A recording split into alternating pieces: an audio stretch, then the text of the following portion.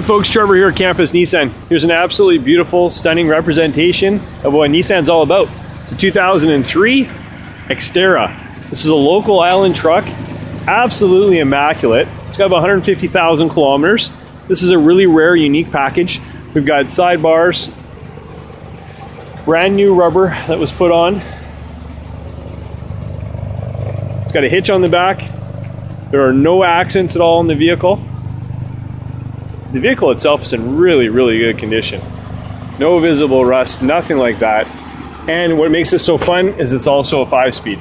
So you got a manual transmission Xterra, 2003, local island truck, 10990. Won't last long at Campus Nissan on Oak Street. Come see why we're one of Vancouver Island's best places to buy a premium used vehicle.